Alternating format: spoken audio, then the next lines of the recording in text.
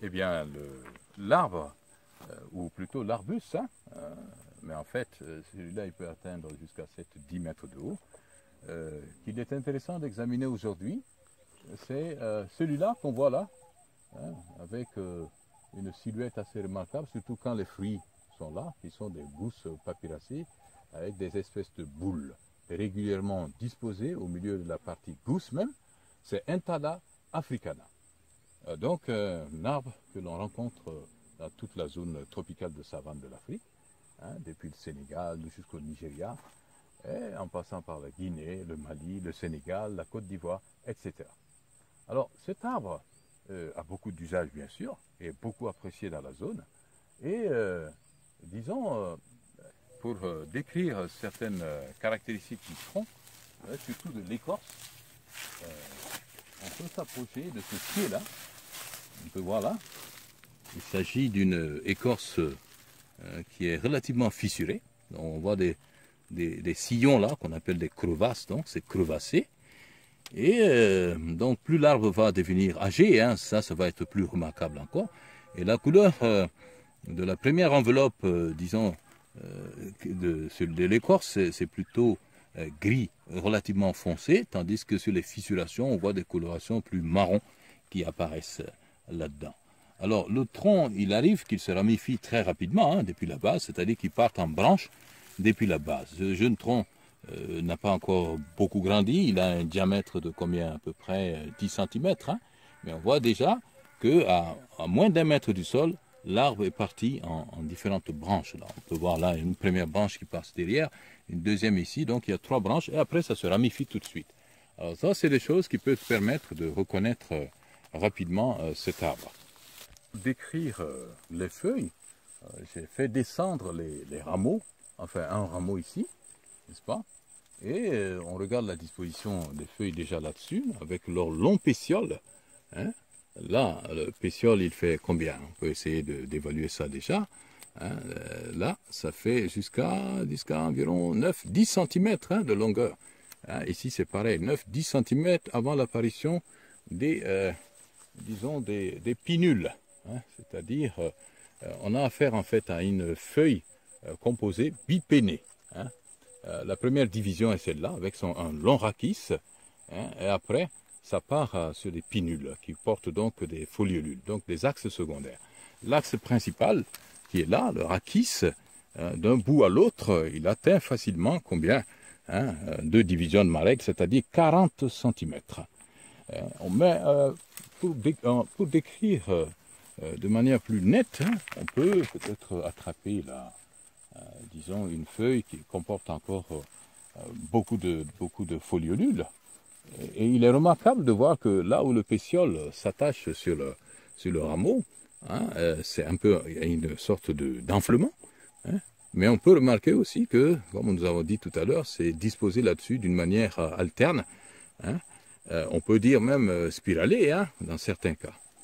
donc si on prend, on va couper complètement cette, euh, feuille bipénée hein, pour voir ses caractéristiques. Et là, on remarque quoi? On a déjà donné la longueur de l'axe principal qui fait jusque dans les 40 cm. Mais si on regarde un axe secondaire, donc de pinule, il peut atteindre, lui, combien? Jusqu'à 18 cm.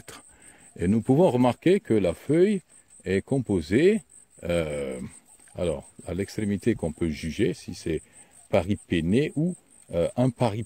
Alors, si j'en juge par euh, ce que je vois ici, c'est des feuilles composées euh. Hmm? C'est-à-dire qu'il y a deux foliolules à la fin de, chaque pinule. Et aussi, il y a deux, a deux, deux pinules à la fin de chaque feuille. Encore que là, celui-là semble avoir été brouté, sinon il y a deux pinules à la fin de chaque feuille. Donc, euh, à cause du fait que le soleil est en train de partir, euh, les foliolules se sont un peu recroquevillées. Mais si on regarde, euh, donc, on prend un pinule par exemple, hein, et on voit qu'à l'extrémité, à l'extrémité, hein, bon, il faut que je montre un cas où c'est vraiment très convaincant. À l'extrémité, nous voyons deux foliolules. Donc on peut dire qu'on a affaire à une feuille composée biparipénée, du fait que ça se termine par deux ici. Et si on prend l'axe principal aussi, ça se termine en fait par deux, euh, deux pinules. Alors maintenant, on peut donner les dimensions des foliolules qui sont pratiquement sans pétiole, hein, c'est-à-dire euh, hein, les foliolules, ce sont ces petites feuilles qui sont là. Leur forme, on peut les voir, c'est des formes elliptiques, hein, un peu asymétriques à la base, c'est-à-dire la base est arrondie, mais on voit que euh, l'arrondissement n'a pas euh, les mêmes formes d'attache sur donc le court pétiolule hein, de chaque côté. Là, là, c'est plus arrondi que là, par exemple. Et quand on regarde les dimensions, la longueur, ça fait 3 cm de long sur, euh, sur combien? Sur 1 cm de large.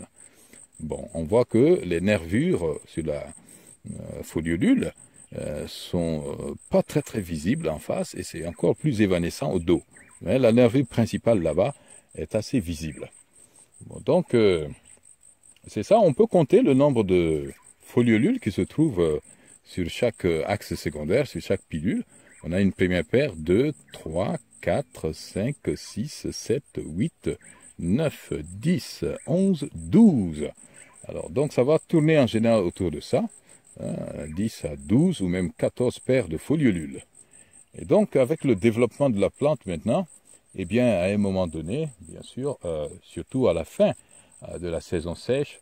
Il y a des fleurs qui vont se présenter. On ne pourra pas voir ça sur cette vidéo parce que là, on est à la fin de la saison de pluie euh, où les fruits sont en train, on peut le voir là, en train de mûrir maintenant. Hein, plutôt, il y a beaucoup de fruits, c'est remarquable, très beau. Mais les fleurs sont de couleur euh, souvent jaune ou blanche.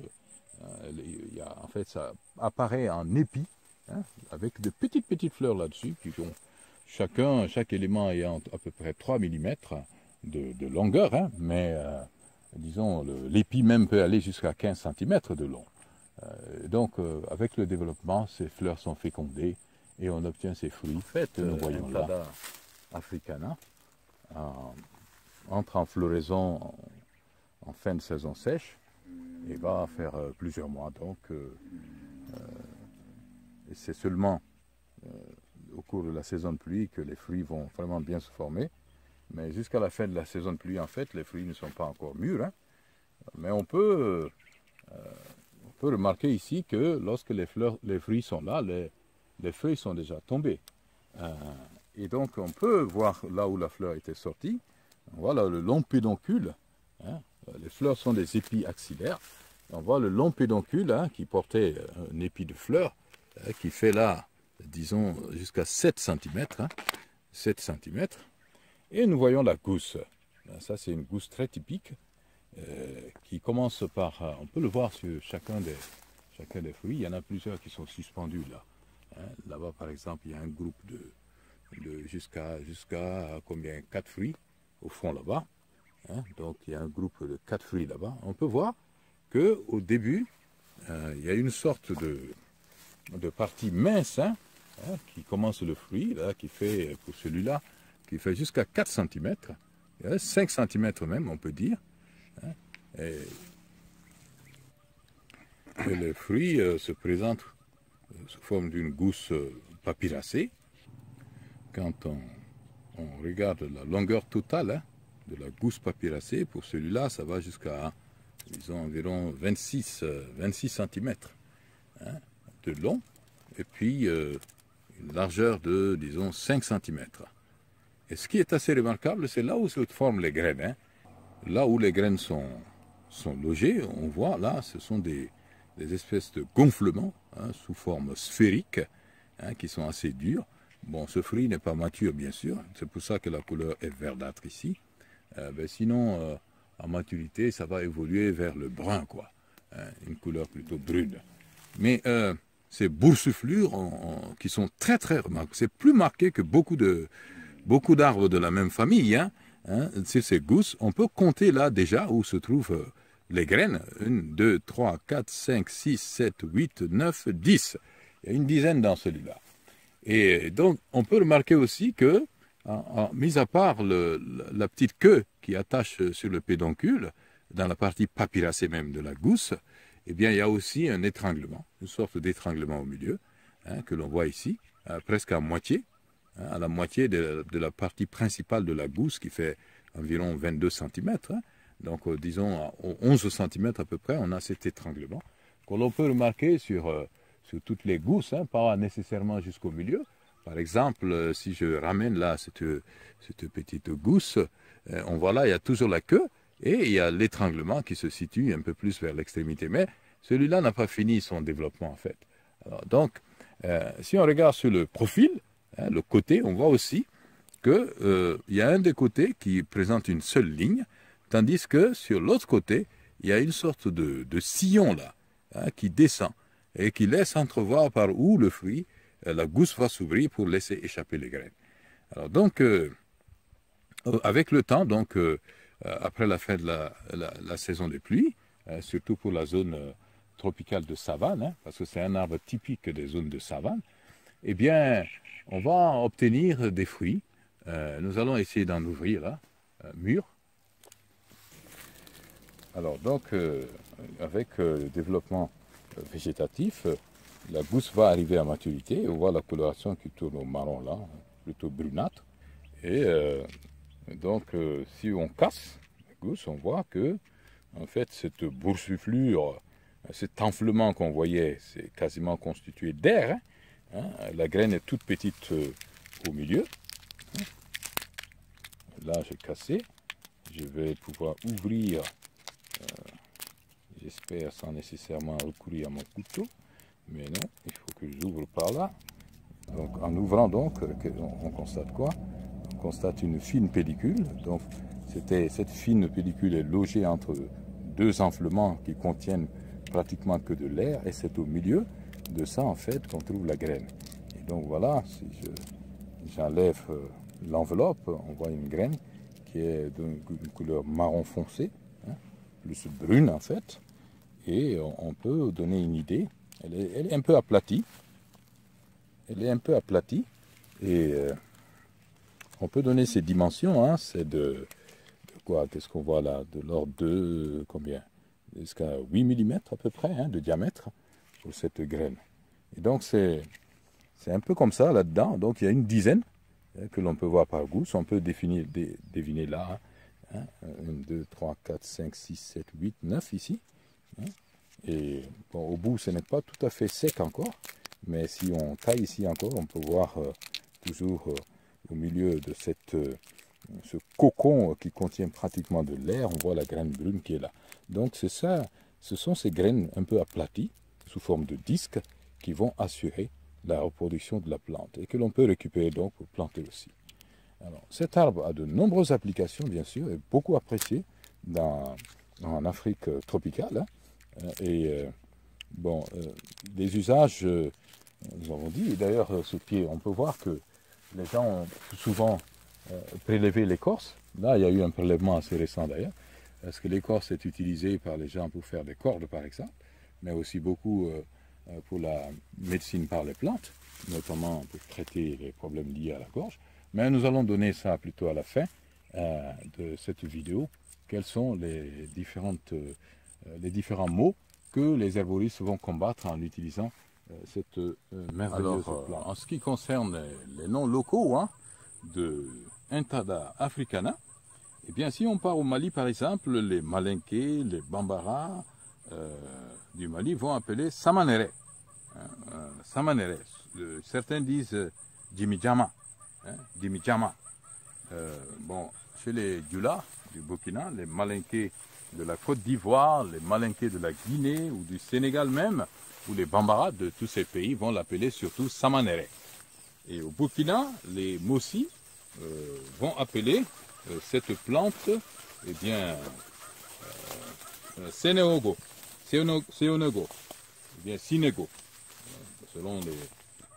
Et disons, au Bénin, les Bariba vont l'appeler euh, Shletetebu, ou bien Onrudoru. Euh, tandis que euh, les Peuls, hein, en général, euh, en Afrique occidentale même, vont l'appeler Padapar, ou bien Padapari. En Guinée, eh bien, les Sossous vont l'appeler Boudo. Boudo. au Sénégal, les Wolofs vont appeler cette plante Bata, ou bien Sayer. Hein, euh, toujours au Sénégal, hein, en sérère, ils vont le dire mbatar ou bien mbatar. Euh, au Togo, dans la langue euh, Moba par exemple, ils vont dire punko ou bien pinkwok. bon, qu'est-ce qu'on peut donner encore? En bariba, on a dit ça déjà. En fond, toujours au Bénin cette fois-ci, c'est akakani. akakani.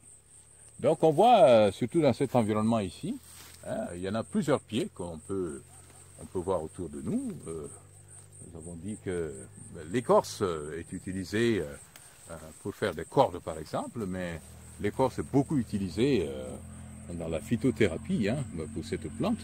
Et donc nous allons lister à la fin les différents usages qu'on fait de toute ou partie de cette merveilleuse plante que l'on peut conserver, que l'on doit même conserver dans notre biodiversité, soit en récupérant les graines. Voilà, par terre par exemple, il y a des gousses qui sont tombées là. Hein. Et l'arbre aussi, euh, les feuilles sont un excellent fourrage d'ailleurs pour les animaux, hein, qui, euh, qui, les broutent euh, vraiment avec une telle, une telle voracité que ça donne envie.